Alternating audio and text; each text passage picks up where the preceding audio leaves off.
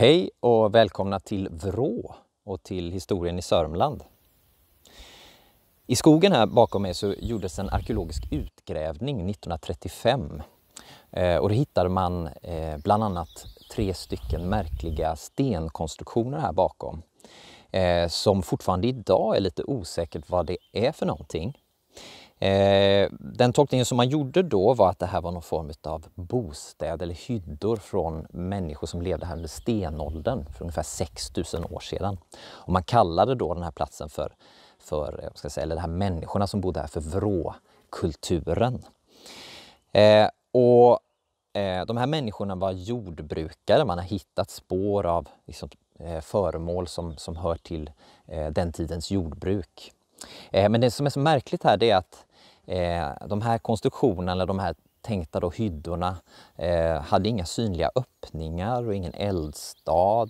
Eh, man såg, hittade inga stolphål som då visar var stolparna stod som bar upp taket.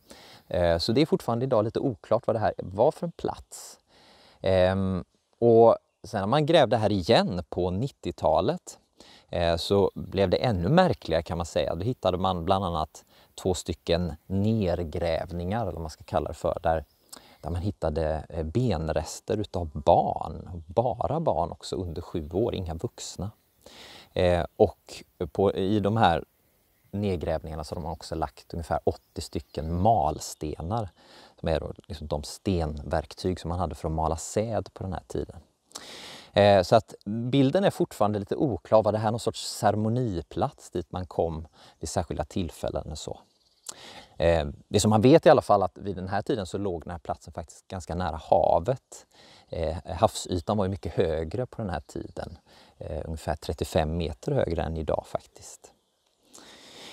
Eh, på 80-talet så hände också en annan intressant grej, nämligen att en förening eh, gjorde rekonstruktioner, alltså kopior kan man säga, av hur man tänkte sig att de här hyddorna såg ut. Och eh, den finns här borta, man kan besöka den fortfarande idag.